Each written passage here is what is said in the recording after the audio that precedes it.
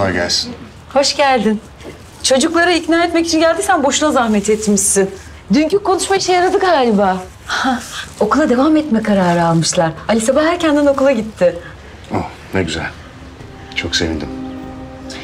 Doğru karar vermişler. De, ben seninle başka bir şey konuşmaya geldim vaktim varsa eğer. Aa tabii. Sen geç dışarı ben geliyorum. Ee, taze çay demledim. İçer misin? Zahmet etme boşuna. Çok kalmayacağım.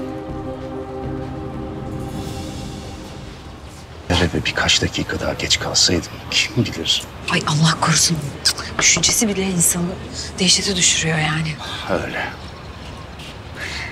Ve bu düşünce aklımdan hiç çıkmıyor Derya.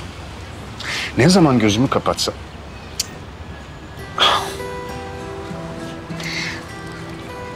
Ben bir yerde hata yaptım. Bir yerde bir eksik var. Vefa'nın olayından sonra Çağrı ile defalarca konuştum. Bak oğlum dedim. Bu senin hatan değil dedim. Ama yetmemiş belli ki.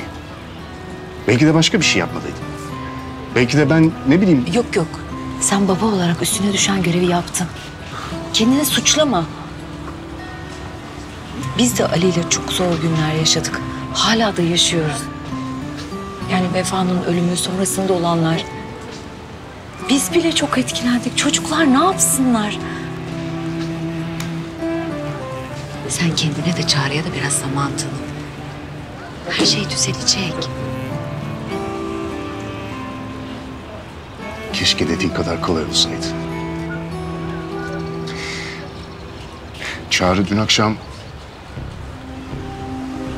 uyuşturucu kullanmış. İşin kötüsü galiba bu ilk değil. Ne diyorsun sen? Biraz üstüne gittim nereden bulduğunu öğrenmek için. Vefa'nın öldüğü geceden kaldığını söyledi. Derya vefa getirmiş, satıyormuş belli ki. Senin niye geldiğin ortaya çıktı. Ya o çocukla yeterince uğraşmadınız mı? Ne istiyorsunuz hala? Öldü gitti hala derdiniz bitmedi sizin. Derya sen beni yanlış anlıyorsun. Ben kimseyi yanlış anlamıyorum tamam mı? Lütfen otur. Lütfen. Ben vefayı ne yargılıyorum ne de suçluyorum. Bak. Birileri bu çocuğu maşa olarak kullandı. Oluyor böyle şeyler. Tamam. Artık vefa aramızda değil. Ama Ali aramızda. Zeyno aramızda. Arap aramızda. Bu adamlar bu çocuklara da musallat olabilirler. Onu söylemeye çalışıyorum sadece. Sadece benim çocuğum değil. Çocuklarımız tehlikede. Çok özür dilerim. Ee, yani Vefa'nın adını duyunca bir anda çıkıştım ben de. Ee, haklı olabilirsin.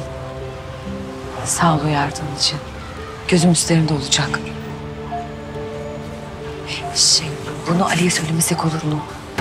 Şimdi yine Vefa'yı suçluyorlar diye gidip okulda kavga çıkaracak, çocukları hırpalayacak. Daha yeni yeni bir şeyler yoluna girmeye başladı. Sen merak etme.